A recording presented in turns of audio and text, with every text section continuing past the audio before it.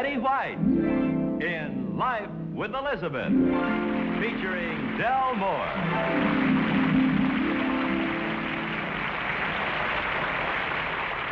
In number one in the life of Elizabeth occurred in January of last year. There wouldn't have been any incident at all on this particular date if Elizabeth hadn't been in a talkative mood. That's Elizabeth. See how happy she is with her work? She has no idea at all that in a few minutes she's going to drive her husband to distraction because this is one time she doesn't intend to. Elizabeth, how are you tonight? Where's Alvin? He's got a broken arm? He's outside checking for rain? Wait a minute. Let's start again. Okay, tha- that's a book. Oh, he's going to balance the books. Mind if we watch? Thanks. Here he is now. Where are you going, Alvin? Into the den, honey, where it's nice and quiet. I've got a lot of work to do. Why don't you do it right here? Not tonight. We can keep each other company. No, not tonight, honey. Gotta do a lot of figures, columns, and things, and I can't concentrate with you talking. I promise not to talk, honey. Come on, you sit right here. Do you really promise? Sure.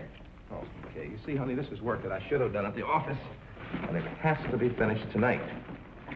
Okay, I understand the situation perfectly. I won't talk at all. That's a promise. Thanks, honey. Whew, figures. Uh, let's see. It started here 16, 17. The only thing is, I can't see any sense to your being clear out in the other room while I'm in here, especially when we both have work to do. You know, this kind of work takes concentration, too, honey. Then when you take into account the fact that I haven't seen you all day, it Uh, doesn't uh, seem... Honey, Elizabeth, you're talking. Oh, I'm sorry. I didn't realize you'd started. I've started. what are you making, a tent? no, it's... you and your sense of humor. no, it's going to be an apron. Since when do you need 20 yards of material to make an apron, It's for Mama. Mr. Fudd? Uh, well, this is for Mr. Fuddy, and it has to be finished tonight. Alvin, you're talking. Yeah, that's right. Well, no more talk, okay? Okay. Now, let's see. 24, 32, 47, mm-hmm. 95, 5, carry the 9, 16. One little, two little, three little Indians, four and five and carry the nine. Six little, seven little, eight little Indians. 48 Nine Indians, little, 10 little, 11 little Indians, Indians. 97. Thirteen little, fourteen little, fifteen little Indians. Elizabeth. Honey, you didn't say anything about singing. Let's draw up a new contract, Elizabeth. No singing and no talking. Okay, no singing, no talking. All right. You want to sign the contract? 24, 32, 47, 95, 5, carry the 9. Uh, 6, 5, and carry the 9. 5, and carry the 9.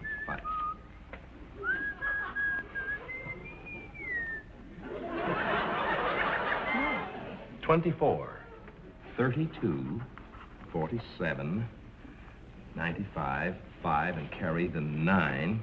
Five and carry the nine.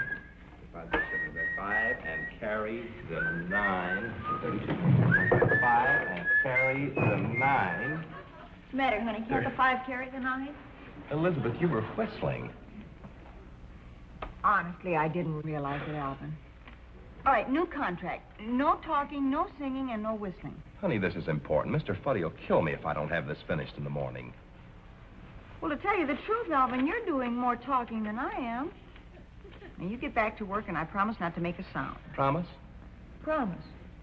24, 32, 47, 95, 5, carry the 9. 5, 6, 35, 5, and carry the 9. 6, 8, 32, 47, 49, 5, and carry the 9. 5, and carry, 5, and carry the stupid 9. Honestly, Alvin, sometimes you can be pretty irritating. I can be irritating. What are you talking about? Unless you're trying to drive me out of my mind, will you please have the five carry the nine someplace else? I shall carry both the 5 and the 9 into the den where I should have worked in the first place. Now, wait a minute, honey. Here we go, fighting over nothing. Come on, now, sit down. I'm not going to have you working clear out in the den all by yourself. Honey, I'm sorry. But, honey, can't you keep the scissors a little quieter? They must have registered on the seismograph in Pasadena. That's cute, honey. You should write. I'm trying to. 24, 32, 47. What's a seismograph? I don't know. Six, seven, Seismograph. five, and carry the nine. Maybe it's a phonograph that's a certain size. You're talking, Elizabeth? Okay, new contract. No talking, no singing, no whistling, no seismographs. Good. You want to sign the contract? There. 24, 32, 47, 95, 5, carry the 9. 5, wait a minute, 34, 5, and carry the 9. 5, and carry the 9. 5, carry the... N- Elizabeth, what, are, are you still making that, that on a tent or apron? Mm-hmm. Well, what's the big idea of all of this business? I'm measuring the pockets. Silly of me, I should known. and let me see. Alvin, you're doing There. some more talking. Yeah, that's right. 24, 32, 47, 95, carry the 9, 2, 7, 12, 21. Uh-huh. Seven. Honey, I'm going to have to use the scissors. Okay, honey, I finally finished the one column. 6, 7, 47, 35, 5, 7.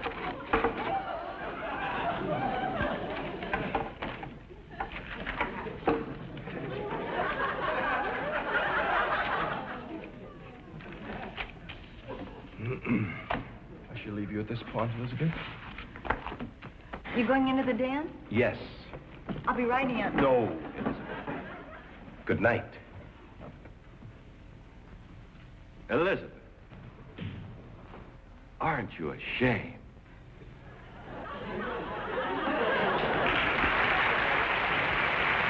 Incident number two in the life of Elizabeth occurred the night they were late for the party. Of course, there's nothing unusual in that. They're always late for everything.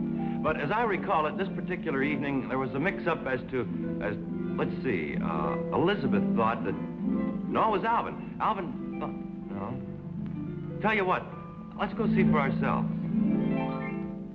Hurry up, honey, we're late. Be right there. Wait till the mayor gets a look at me in this outfit, boy. I'll be right there. I was talking to myself, dear.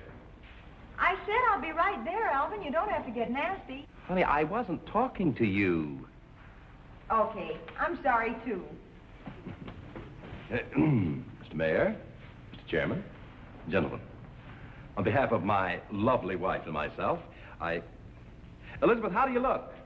What book? No, honey, I said, how do you look? I want you to look your prettiest tonight. The mayor and his wife will be there. Good. Hey, what dress you wearing? The pink? In the desk. What's in the desk? The ink. Mr. Mayor, Mr. Chairman, behalf of my lovely wife and myself, Alvin, I accept... Yes, dear. close your eyes. I want to surprise you with my outfit. Oh, okay.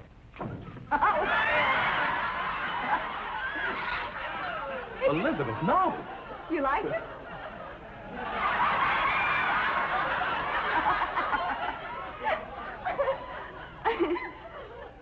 what in the world are you wearing? What's the big idea dressing like that? Well, I'm going to a masquerade. What's your excuse? Elizabeth, if this is another one of your jokes, you've gone too far. Turn around, Alvin. You look like something that just flew back from Capistrano. Elizabeth, I don't have the time to be angry with you. Your little funny joke is over. Ha ha. Now go slip into an evening gown and hurry up. We're late. What funny joke is over, ha-ha? You don't expect to go to a reception at City Hall looking like that, do you? Well, of course not. Tonight we're going to a masquerade at Dorothy's house. Honey, that's tomorrow night. Oh, the reception's tomorrow night. Elizabeth, I ought to know. The firm is getting a special award from the mayor. I've been rehearsing my speech for a week. What are you going to say? I was going to say, on behalf of my lovely wife, I accept this award. But look at you. Take a look. Well, make it on behalf of my caddy wife and myself. and then you can tell them when I'm cleaned up, I look pretty good. Elizabeth, how can you do a thing like this to me? Because I'm absolutely positive that the reception is tomorrow night. You absolutely positive? I'm positive anyway. You, you're positive? Well, I'm kind of pretty sure. But are you sure? I better go change. Yeah, well, hurry. Wait a minute. There's one way we can find out. Oh. How? I'll call Janie. Oh, yes, she'd know what day it is, but hurry up, honey.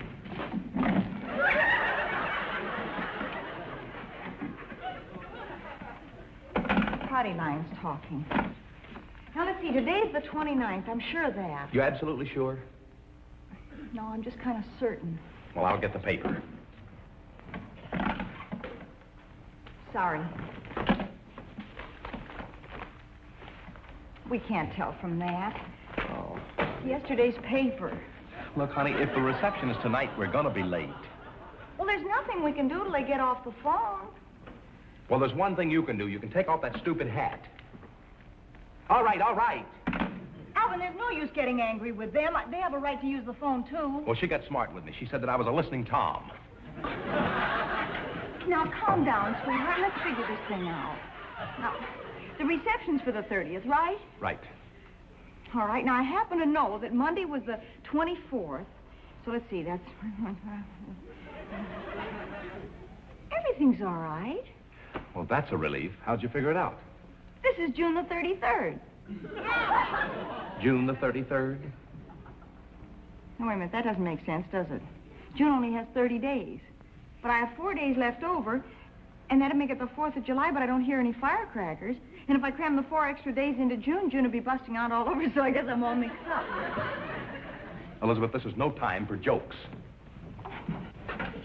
I'd like to use the phone as soon as you're through quacking with your magpie friends. Oh, Alvin, you can't talk to people like that. Oh, yes? Well, let's see you get them off the phone. A little common courtesy will do it.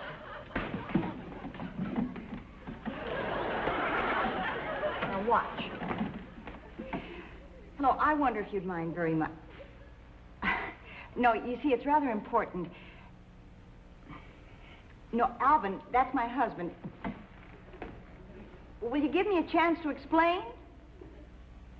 You don't have to yell. That was smooth. There's no time for sarcasm, Alvin. If we don't find out what day it is, we'll be late for both parties. Look at the time for...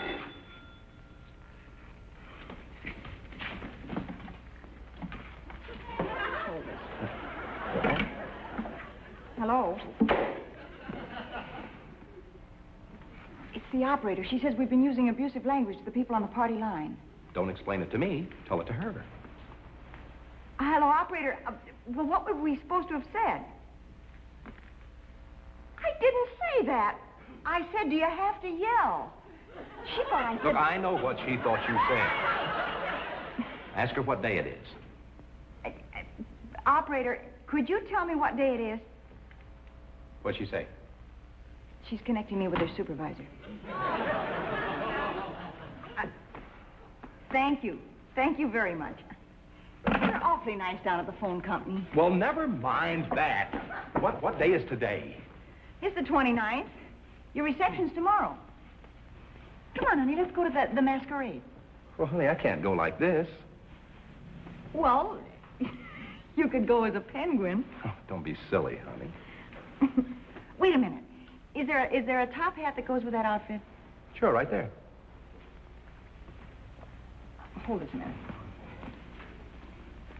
Oh, Here. honey. Well, what are we supposed to be? Couple of crazy mixed-up kids. Your arm, lady.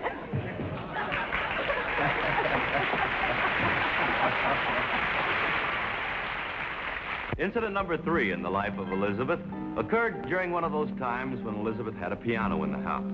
Uh, Alvin is also in the house. So what are we doing out here? Come on, let's invite ourselves over. All right, honey. Everything's all set. Aye.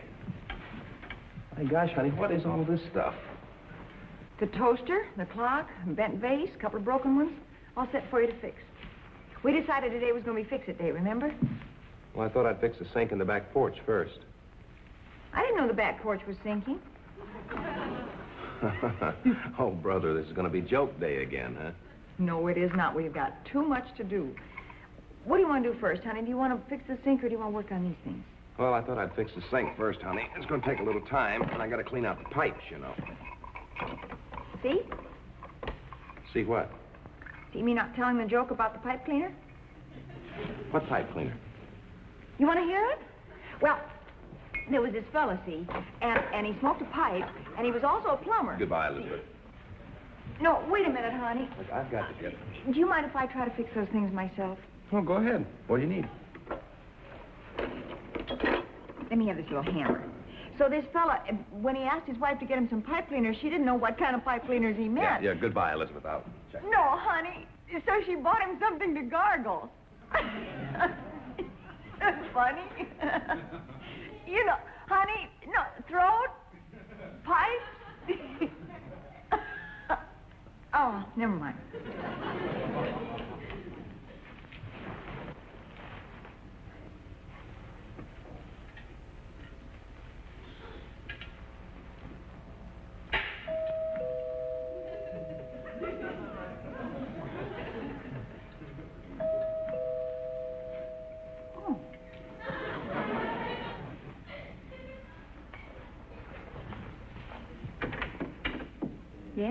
How do you do? How do you do?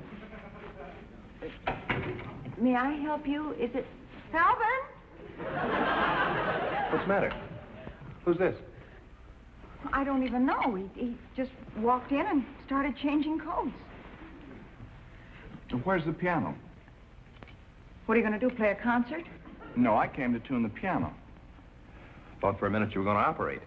Oh, honey, it's all my fault. For heaven's sake, two weeks ago I called a piano tuner and forgot all about it. You go on back under the sink. It's oh, perfect. Oh, honey, do I have to crawl, crawl back under that sink? It's hot under there. It's musty. Go back under the sink. Can I fix Go on. Has he been naughty? No, you just go. go. The piano's right over there. C sharp. What? C sharp. I do. I, I hardly ever wear my reading glasses. No, no, I mean your bracelet.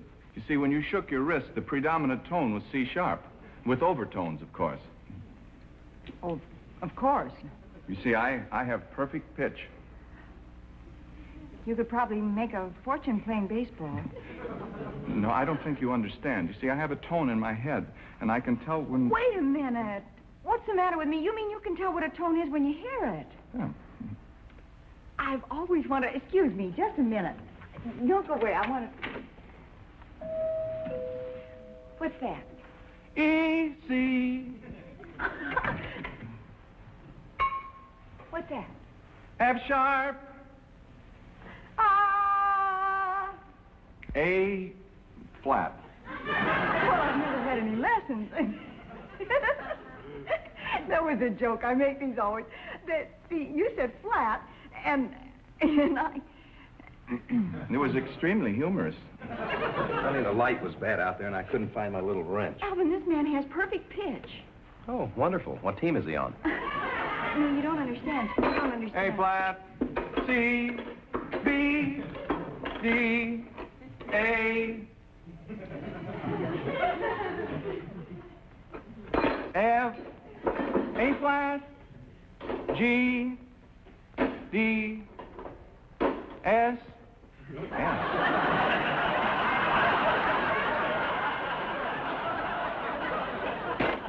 D. Listen, Buster, I don't know what you're spelling, but I'll tell you it isn't funny. It may interest you to know that this entire toolbox is out of tune, Really? except the hacksaw. Isn't that good to know, sweetheart? Elizabeth, if you need me, I'll be under the sink. Has he been naughty? Isn't he cute? No. The pia- the piano's right over there.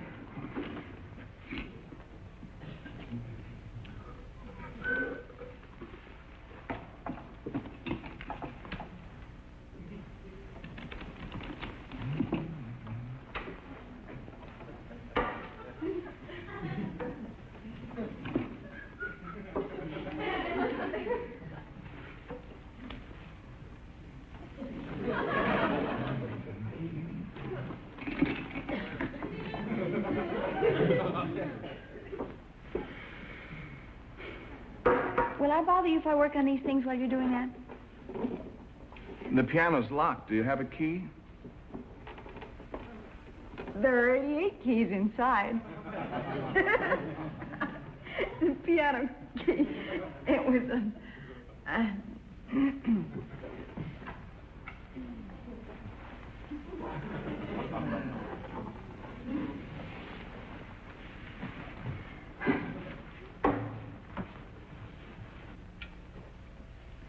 I once belonged to a fish quartet. what? It's a funny, like yours. You're, you're supposed to ask me, what is a fish quartet? What is a fish quartet? A first tuna, second tuna, third barracuda, and fourth bass. Barracuda baritone. Isn't that charming?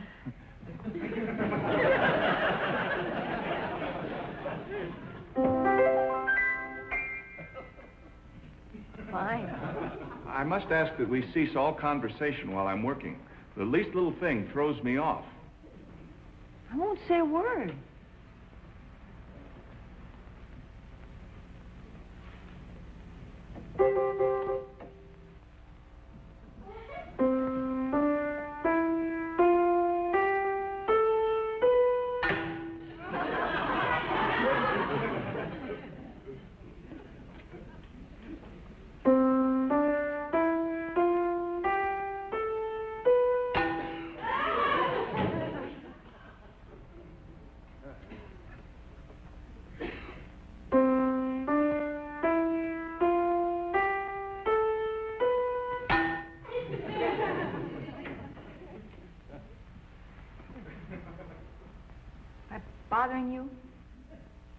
Vase is a half-tone flat. I'm sorry. Throws me off. I- I'll work on the toaster.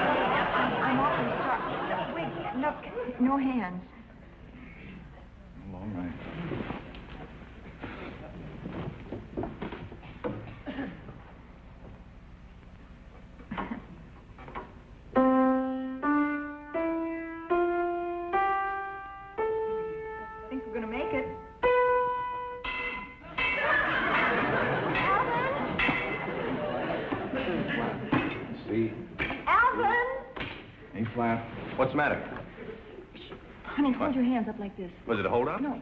I, look, nothing can happen now.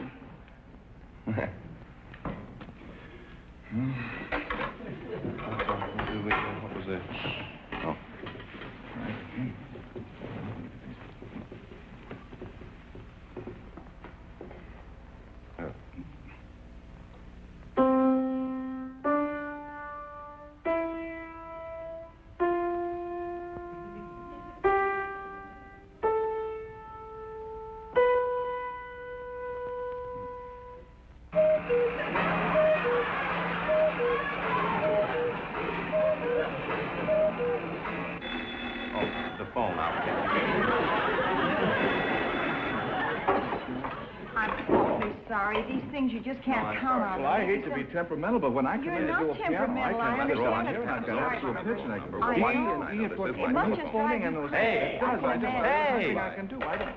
How do you like? Say goodbye to the people. Goodbye, everybody. How do you like Every that? time I come in, I... Now, here to say goodbye to you is the lovely star of our show, Betty White.